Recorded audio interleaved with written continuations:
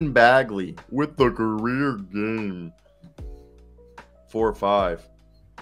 I, I have said this. It'll be really weird if the Pistons win the lot, uh, lottery and they have Victor Wembanyama because looks like James Wiseman and Marvin Bagley just got screwed if that happened.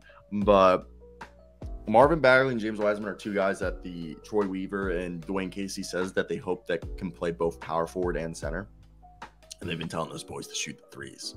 Marvin Bagley for the season is like shooting 20 something percent. Four or five last night from three. Marvin Bagley. The Duke Blue Devil. No, I know like people like to bring that up, but that's what Troy Weaver's all about. He's all about options.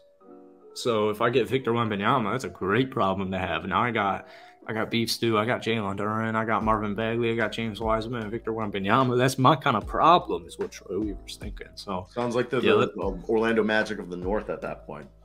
Let these boys cook. Put put Wiseman at the three.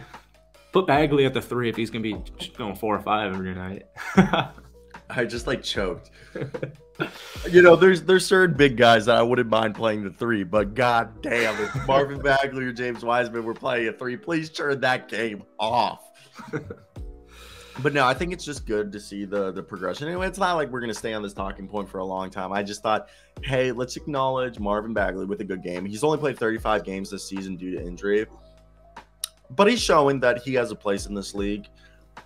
I I think the jury's still out if he'll become a starting level rotational player. I don't think he's an all star.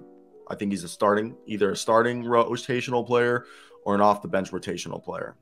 He's either going to be in the Trey Lyles role in two years or he'll be starting. But I just don't see him being an all star anymore.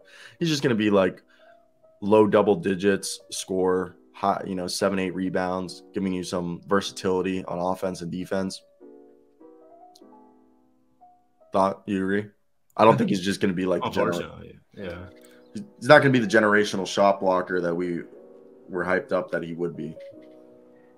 No, but he's still good. It sucks how early he went and who he went in front of because Marvin Bagley is still a great basketball player, and the injuries unfortunately have gotten the better of him. Also, Sacramento, no disrespect, wasn't the best place to develop when he got drafted as all Kings fans know.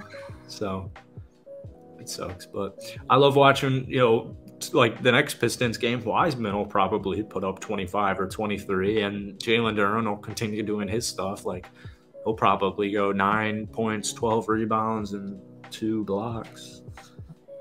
Fun team to watch. It is a fun team to watch. You know what's a fun